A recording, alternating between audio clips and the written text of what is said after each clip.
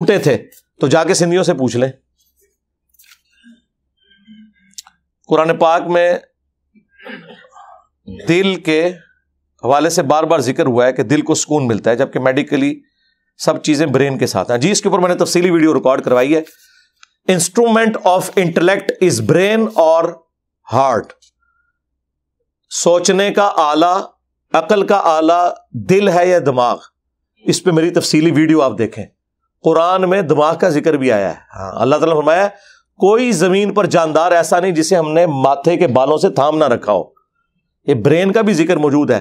दिल चूँकि लिटरेचर की ज़ुबान में बात होती है, इसलिए दिल का ज़िक्र आया।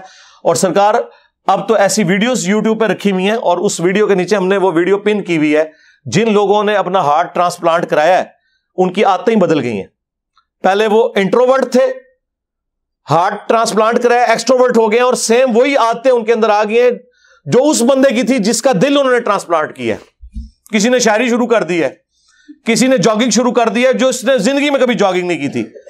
तो अब ये साइंस मानती है। ये उस तरह की साइंस नहीं जिस तरह आपको कहते हैं कि जी वो एक जापानी ने तहकी की थी है कि आबे जमजम गटर ही सुट दे होते गटर भी आबे जमजम बन जाता है। कहानी, जापानियों को पता ही नहीं इस तहकीक का हाँ मैं इस तरह की कहानियाँ नहीं कराता जो खुद को ही साइंटिस्ट के बारे थोप देते हैं। ये वो तहकीक है जो वाकई रखी हुई है, वो आप देख लें जाके कि दिल में भी स्टोरेज है, इसके अलग से अपने न्यूरॉन्स हैं।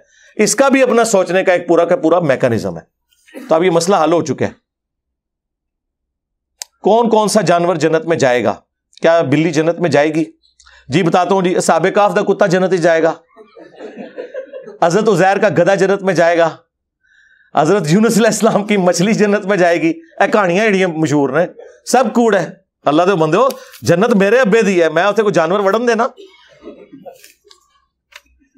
जन्नत इंसानों के लिए बनी हुई है। हदीस की रोशनी बताया कि साहब कराम पाँचों नमाजों की कितनी रखते पढ़ा करते थे?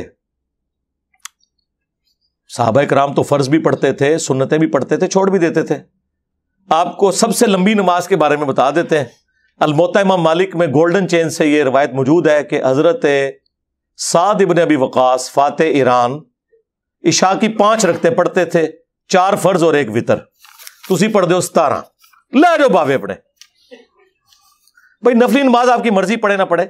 सत्रह नकते ही आपने पढ़नी है, उसके बाद आप जितनी हम तो कोशिश करते हैं पढ़े, लेकिन ऑब्लीगेटरी नहीं है। क्या फ़र्ज़ नमाज़ पढ़ लेना काफ़ी है? मेरी वीडियो देखे सुनत मौकदा ऑब्लीगेटरी नहीं है।